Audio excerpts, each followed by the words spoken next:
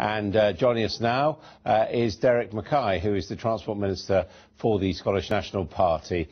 Uh, Mr Mackay, thank you for being with us. You heard there what Jim Murphy was saying. Just to be accurate with this, are you proposing to vote for opting out of the British welfare system and the British pension system?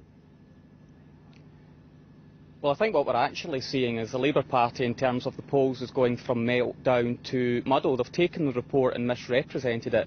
And in terms of the IFS study, it also spoke about the choices Scotland would have. If we had economic levers, we'd be able to make different decisions. And the rate of progress in terms of devolution and the transfer of powers to Scotland has been particularly slow. To suggest it will have full fiscal autonomy in a financial year that's already begun is preposterous. The only cuts that will be faced upon Scotland right now now are the cuts that the Labour Party, okay, the okay, Tories and the Liberals have all voted for no, and the SNP uh, I, voted I appreciate against. that, but if you could just answer my question. If you did have full fiscal autonomy, do you accept what the IFS says, which is the consequence of that is that Scotland would have less money for pensions, less money for its welfare state?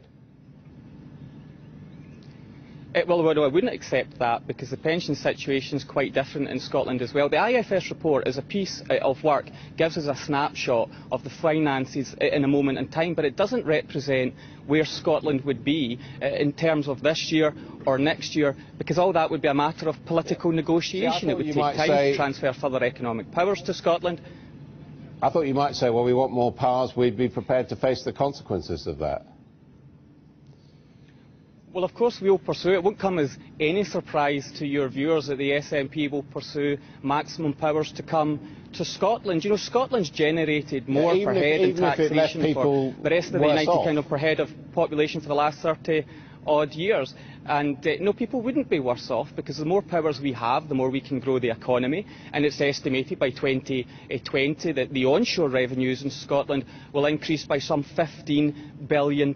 So you can take a report, as the IFS has done, a snapshot in time, but what we would negotiate with the UK government would be a transfer of more economic powers to Scotland to help us grow our economy, because we have an alternative but to austerity. But there would be a transition period before you'd grown the economy where you might be short of cash of for course, your welfare exactly. state. It, it, well, we wouldn't be short of cash because in terms of the current context, we would be within the United Kingdom and the United Kingdom has a huge deficit. Anyway, most developed countries well, have a deficit you at this it. point We're talking in time. about when you Scotland, become autonomous. in that sense, would be the same. Well, we're not actually going to leave the United Kingdom as a consequence of the Westminster election. That's not what the Westminster no, election is about. autonomy is what we were Scotland. talking about, though. The more MPs we have, the, the stronger voice we would have.